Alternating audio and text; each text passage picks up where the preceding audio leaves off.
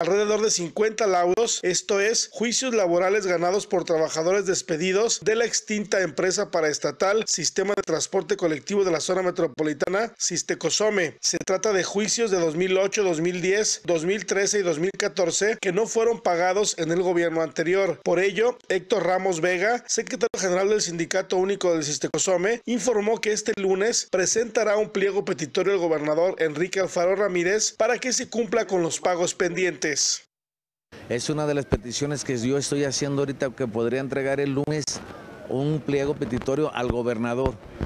Aparte de que las famosas demandas que hemos tenido no nos han llegado a ninguna negociación, ni la Junta de Conciliación les ha dado más para adelante. Simplemente tenemos ahorita un promedio de unas 20 demandas ya laudadas y no se ha hecho nada. Es, es la petición que le voy a hacer al gobernador.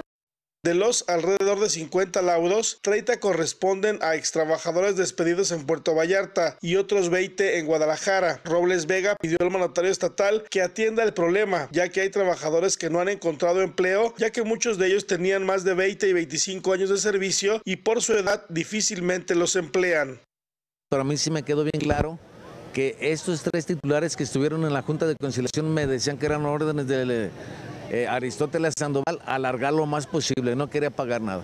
Entonces, varias veces comentamos y se lo llegué a decir a Enrique Alfaro cuando era presidente de, de Guadalajara, en varias entrevistas que tuve, que le iban a dejar un bronconón con todas esas demandas. Además de los alrededor de 50 laudos favorables a los trabajadores, existen varias demandas por el despido de 2018, cuando cerró sus puertas la empresa paraestatal. Con imágenes de Juan González, señal informativa Ignacio Pérez.